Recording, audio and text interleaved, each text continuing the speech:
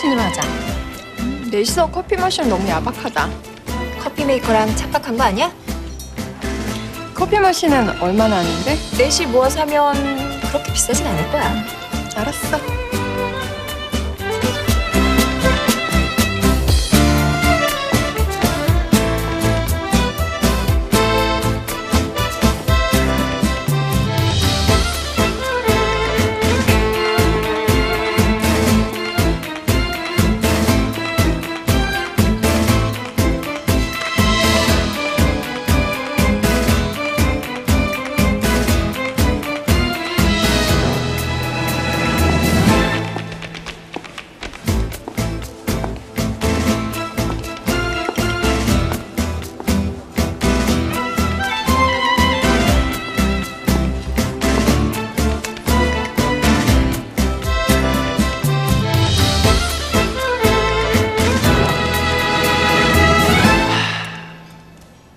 나랑 결혼해 줄래?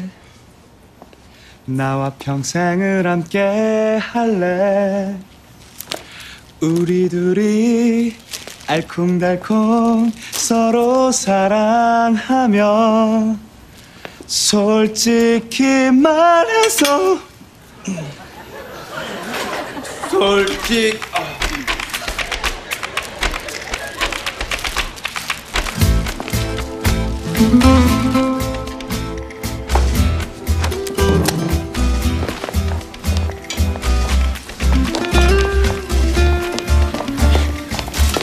꽃좀 받으셔야죠. 저, 저, 저기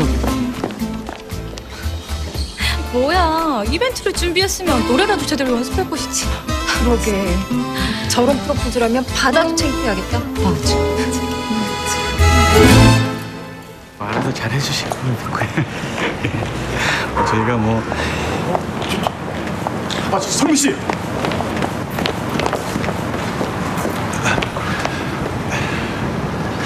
혹시 뭐 불편하신 거라도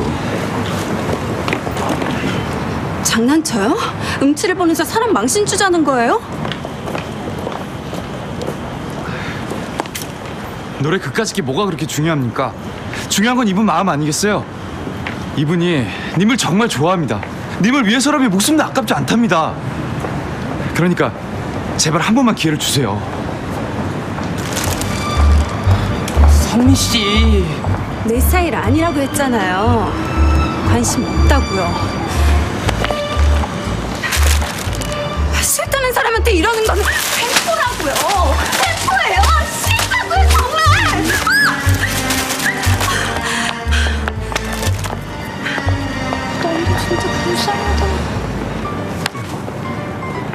너 음치였어? 죄송합니다. 제가 일을 더 망쳤네요.